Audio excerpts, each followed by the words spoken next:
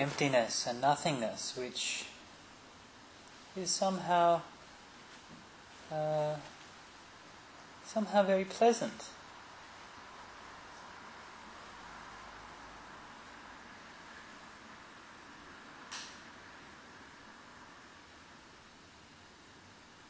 Even though there's nothing there, it's somehow very inviting. There's a story in the book called Phra Farang, written by a Western monk in Thailand, and he was teaching English to some of the Thai people there.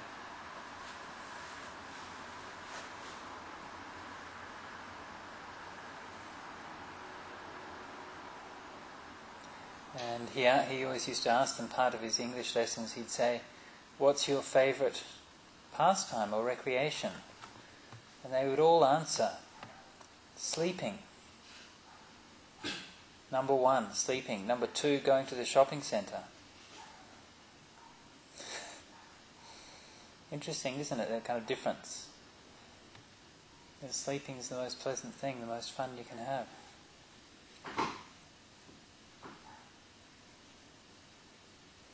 And there's something very innocent about that state of sleep. When we see people who are in a deep sleep, a deep dreamless sleep, they have this kind of like a baby. All the kind of the weight of the years and the the personality, the identity all of the constructs we make around ourselves and identify ourselves with all of these things slip away and there's just a kind of innocent peace.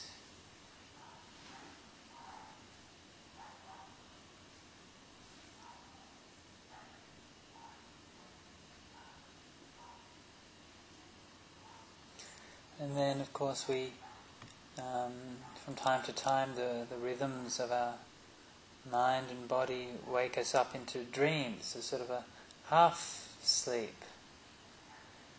And in that realm of dreams, there's these kind of uh, ephemeral half knowings. We come from this kind of unknowing in the dream, in the dreamless sleep to a state of almost semi knowing, but where there's a very curious, uh, the, boundaries are all blurred. Boundaries between different uh, senses becomes blurred, sights becomes sounds, or pictures become words, or whatever it may be. Images emotions get evoked.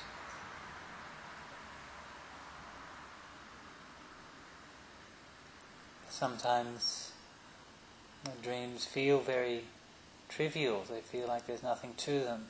Other times they can be very, there's a sense of profundity to them.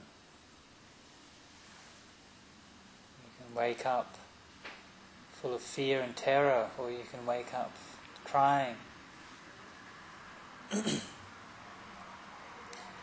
time Ajahn Brahm told me that he dreamt he had a, a samadhi nimitta and uh, it was so bright it woke him up and then he just sat up in his bed and just went into samadhi straight away.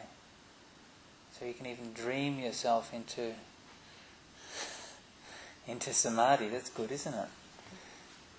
I'm sure you'll go home and try that one out keep on trying. It doesn't work the first time, you can always do it again. I knew some had some supporters in Malaysia. They used to come to the monastery every day and offer dana. And a group of three sisters, and the eldest sister once said she had a problem in her meditation. I said, "Oh, really?" And she said, "Yes." I said, "What's your problem?" She said, "Well, every night I lie down to sleep, and uh, I, I watch my breath coming in and out." And the breath goes in, the breath goes out, mind follows it, and the breath becomes brighter and brighter, clearer and clearer, until my mind's just filled with this brightness and clarity and bliss. And I just lie there filled with light. And my whole my whole world turns into light and I'm just lying there filled with light all night and I can't get to sleep. what can I do about this problem? um, I said, Well, um, do you feel tired the next day? She said, No, I feel fine. I said, No, I don't think it's such a big problem, really.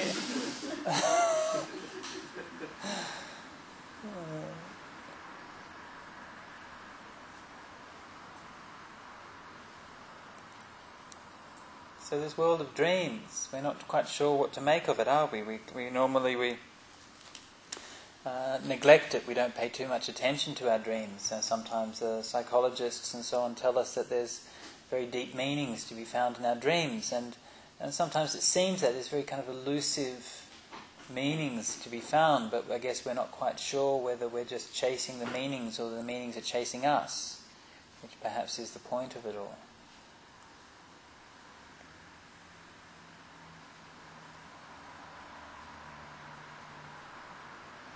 And then, you know, when the night night is over, draws to a close, then as the dawn comes, and uh, similarly, you know, just as the sky lights up when the dawn comes, similarly our, our mind wakes up, comes out of the darkness, as if perhaps our own minds are echoing, reflecting the patterns and the cycles of nature.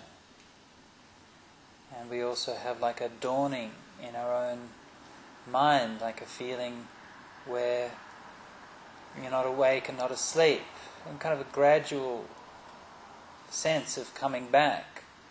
And it's a very interesting, quite a short period of time where you're starting to return to your consciousness, and that's interesting sometimes if you, you're, for example, you're staying in a, in a different place. Maybe you're traveling or sleeping somewhere that's not familiar, and it takes you a while to figure out exactly where you are or what time it is or what you're supposed to be doing.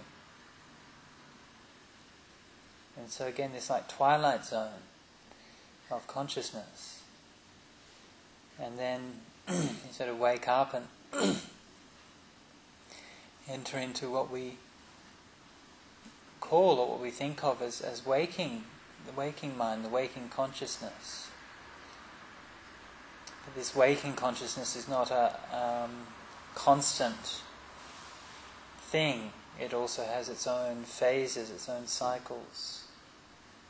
And uh, you know, sometimes there's the rat-a-tat-tat of the thinking on and on and on kind of obsessive, you can't stop it. Uh, other times there's this sense of, um, uh, can, and that, that, that sense of thinking can be, uh, can be, can feel good or it can feel bad. You know, sometimes if you've kind of got hold of something that you're interested in, an idea you want to follow through, a story you want to tell yourself, uh, uh, something you want to work out, something that you need to reflect about and then you then it, it feels good, it feels positive to sort of work the mind in that way. Other times you haven't got anything you need to be doing, and the mind is just sort of incessantly going on, and it feels like uh, it feels very painful, feels kind of quite wearisome. The endless chatter. And then there's different kinds of periods, and sometimes when the if mind feels more tired and lacking energy, and you feel there's a sense of dullness. Other times there's a lot of zing to it. You feel very creative, very empowered. And sometimes you feel like there's there's nothing that you couldn't do, nothing that you couldn't take on, no challenge that you couldn't overcome. Other times you feel like you can't even lift your lift your head up. You can't even take another step. There's different moods and phases that you go through. And then the different uh, predominant kind of emotions can come in, like in very obvious ones like anger and annoyance. And you can see that sometimes happen when we get provoked. Maybe we're in our car and you know someone annoys us for the driving or something like that. Or maybe it's not provoked. Maybe we just you know get up in the morning and we feel angry and we haven't got anything to be angry about. And so we have to keep on making stuff up. We have to keep on telling ourselves really nasty stories about horrible people in order to sort of keep the anger flowing, keep the juices going. We can justify ourselves.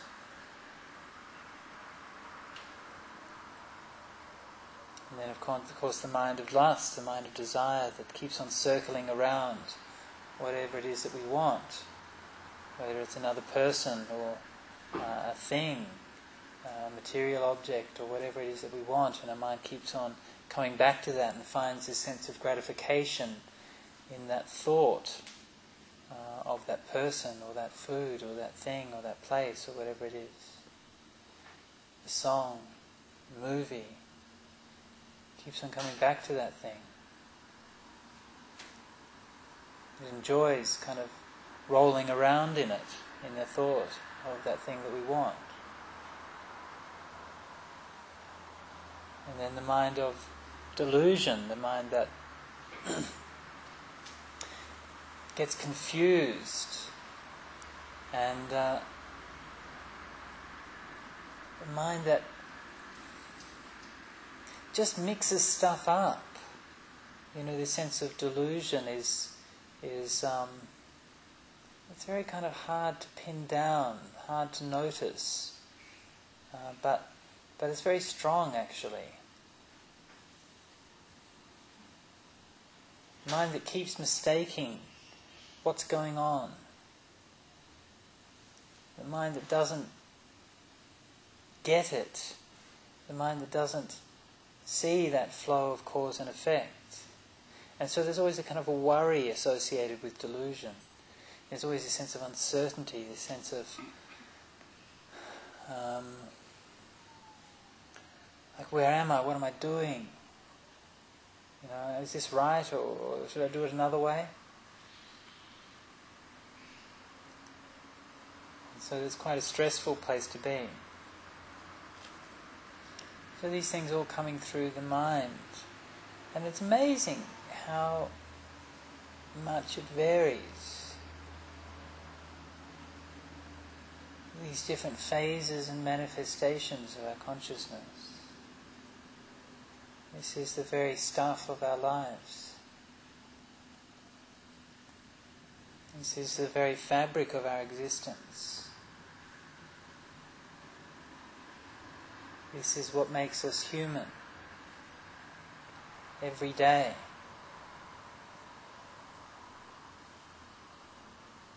From the day we're born to the day we die.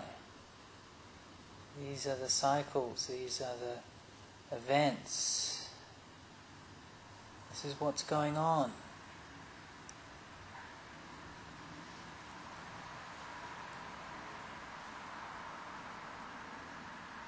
This kind of story of this movement between waking and sleeping, dreaming, thinking, feeling, comprehending, all of these things that the mind does. Affected and uh, influenced by countless uh, different um, like uh, fields or networks of causality, whether it be external environment and the weather and the air and the sounds, whether it be um, our own, the state of our own body, our state of health, and so on whether it be the people around us, their energy, their mood, our relationship with them, how well we get on with them or don't get on with them, how they affect us, the, the food that we choose to, uh, to consume with our mind, you know, the books, the movies, the media, uh, the things we like to look at, the things we like to taste, the things we like to touch. All of these things are kind of feeding our mind. And this is all influencing and changing how our mind is. The things we, we like to think about, those topics which um, come into the mind again and again and again, which the mind likes to play with, or which the mind doesn't like to play with but it can't leave alone, likes to nag, it's, it's, it's kind of obsessing about.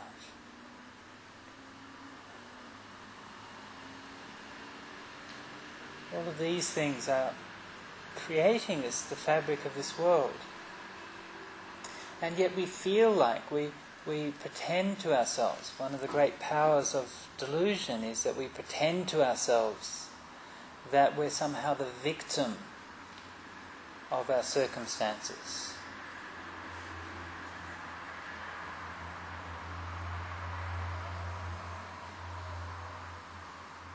We pretend to ourselves that we're the victim of our circumstances. We narrate ourselves a story in which we become subject to the inevitable um, powers and uh, influences of other people. And we tell, us, tell ourselves these very convincing stories that uh, place us in a position of powerlessness.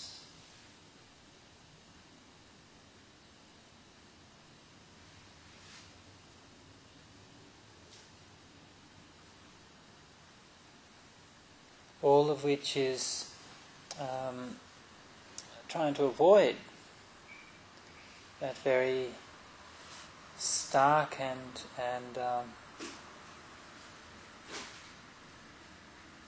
awful truth. Awful in the in the old sense of the word awful, as in inspiring of awe, inspiring of reverence. Like this word awe is like a combination between reverence and terror. So this truth, which is this both, both reverence and terror of this fact that actually it's our choice. It's what we want to do.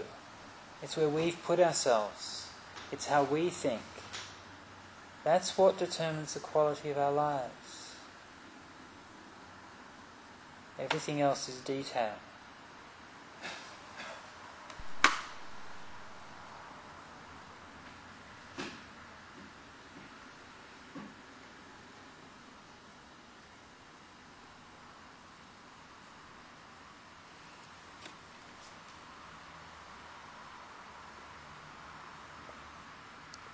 I remember when I was quite new to Buddhism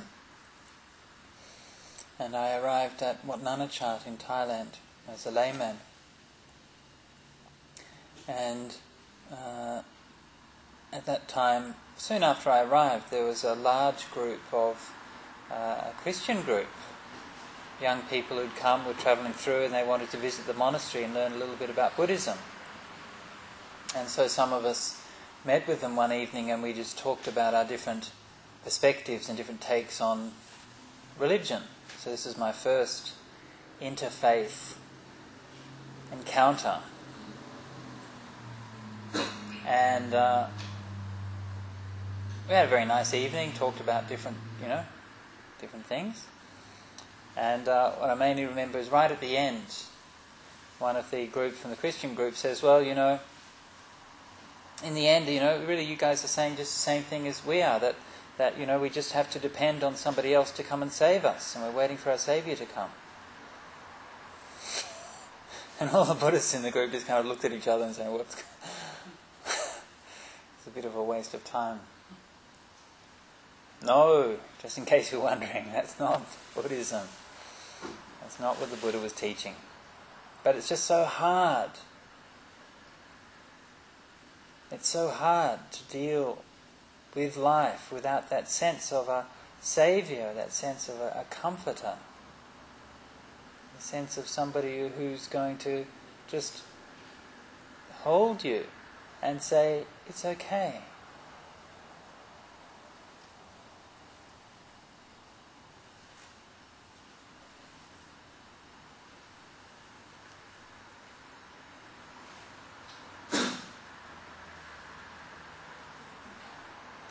So, even though in Buddhism we we try to give these things as best we can,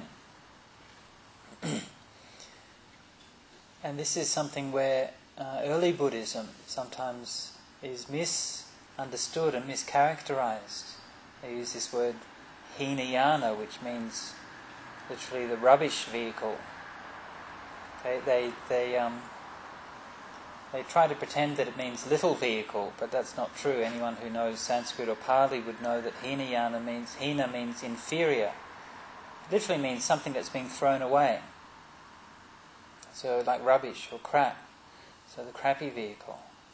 So, this is what other people call early Buddhism. Some people. And the reason they give it that name is because they allege that it's selfish, that people are only concerned with their own well being and don't care about others. And so, in saying that, they make a very serious conceptual blunder about what the Buddha was actually teaching. of course, the Buddha was teaching us that we need to care about each other. Of course, he was teaching us that loving kindness is one of the most beautiful and important qualities that we can remember, that we can, we can develop and have in our lives. Of course, he was teaching us of the value of spiritual community. A very famous occasion when his favorite, Buddha's favorite disciple Ananda came to him and said, You know, Bhante, I think that uh, good friendship is half of the spiritual life.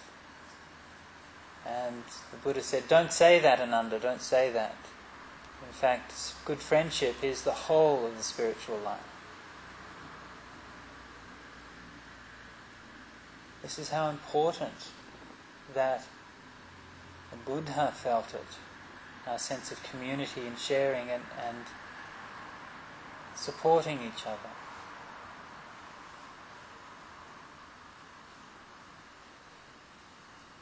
That support is not based on belief. We don't, uh, in Buddhism, we don't have a sense of I respect you, I care for you, I give you a sense of value and worth because of what you believe. And I've been reflecting a little, about, a little bit about this recently. You know, it seems to me that in the world that we have today, that, that this is perhaps the greatest uh, heresy that we have to overcome. You know, we're used to talking about racism and sexism and so on, these kinds of discrimination. We need to maybe have invent another word, creedism. I'm going to discriminate against you because of what you believe. People who believe in tenets X, Y, Z are good and right and true and proper and full human beings, and they're going to go to heaven and be saved forever. And people who believe in tenets A, B, and C are bad and evil and nasty and they're going to go to hell forever. And so, this idea of reifying our beliefs so that our humanity can be summed, the level of development of our humanity can be summed up by our adherence to a set of beliefs. And so, in, in English, we call a religion, we call a belief, a faith, a creed.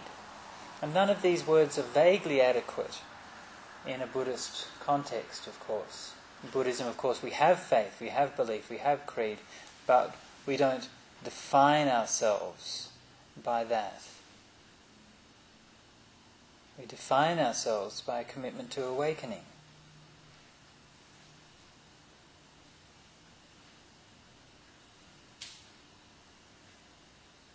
This is what it means to be Buddhist. And so that sense of uh, caring and helping in Buddhism doesn't come from the fact that we have the same beliefs as another person. It comes from an appreciation of suffering, appreciation that just as we feel pain, also that other person feels pain. Just as we feel happiness, also they feel happiness. Just as we can have our heart broken so easily, so too they can have their heart broken just as easily. And when we appreciate this, then this is something that brings us together, brings all humanity together. And not just humanity, all beings, whether animals, invisible beings, whatever there is, it doesn't matter. We don't have to argue about what kinds of beings there are, or are there gods, or are there different realms of being, and so on. Doesn't matter. If they're there, we can love them. If they're not there, oh well, it doesn't hurt anyway.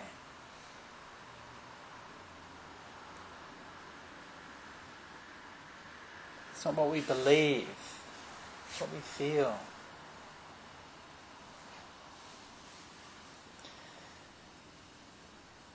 So, this is this imperative for us to develop as part of our spiritual practice, this emotional development that knows the extent of suffering and knows to treat others always with kindness and respect, no matter if they're Buddhist, non Buddhist, whatever.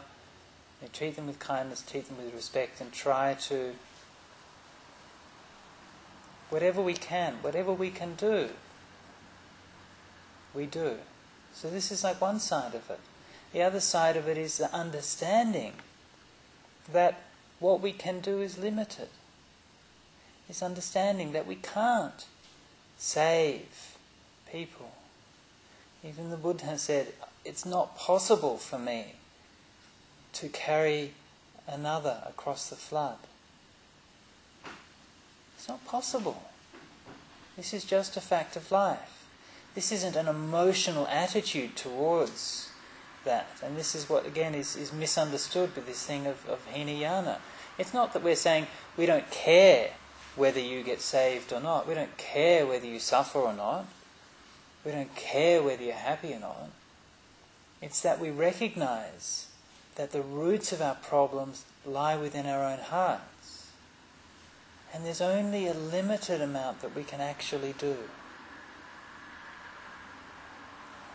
And so we do that. We do that limited amount. We help each other. We teach each other. We advise each other. We support each other.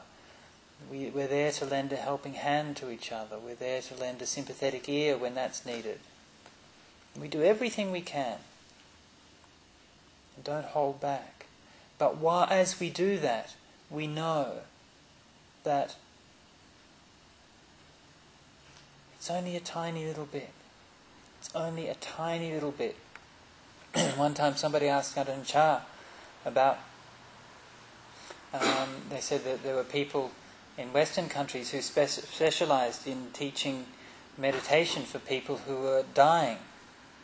And so they'd go and see them when they're on their deathbed and and teach them and, and try to help them to meditate and be mindful. And uh, while, while they went through that phase, and, and somebody asked Ajahn Chah, what did he think about this? And uh, he said, of course, it's a, it's a very good thing to do.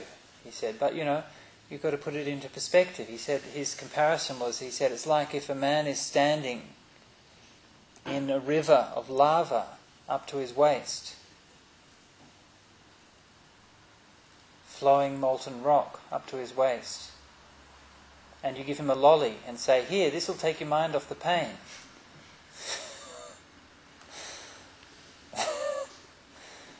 So you still give him the lolly, yeah? Because that's what you can do. But you don't fool yourself and thinking that that's somehow going to solve the problem. It's just what you can do, that's all. And so in Buddhism, we have this kind of realistic assessment of us, both our inner consciousness and our relationship with others. Both of them are important, both of them essential. Can't neglect our, our, our sense of community, our sense of relationship with others. Can't pretend that that's not important And yet, important as that is, crucial as that is, vital as that is, when it all comes home, we're alone. When we look into our mind, we see what this consciousness is. It's alone. It's not shared with others. Of course, it's influenced by others, it's affected by others, but that actual feeling, that actual experience inside here, I'm experiencing alone. And nobody else can share that. And so we have to own up to this. We have to be responsible for what's going on in this world, this world inside. We have to realize that through all these changes in consciousness, through all these movements and uh, rhythms and cycles, at every stage, at every moment, we can handle that with quality and with care. No matter where we're at, no matter if we're tired, no matter if we're angry, no matter if we're distracted, no matter if we're confused, whatever we're at, we can bring a sense of quality to that. We can bring a sense of dignity to that. We can um, uh, have a sense of comprehension which will understand the context and be able to act, use our mind, respond in an appropriate way for that context. This is what training of the mind is about. One way of training the mind is through meditation, another way through talking with others, through doing things, through doing work. All the different things we do in our day. Each one of them gives us another opportunity for training our mind in a different way, for using our awareness in a different way.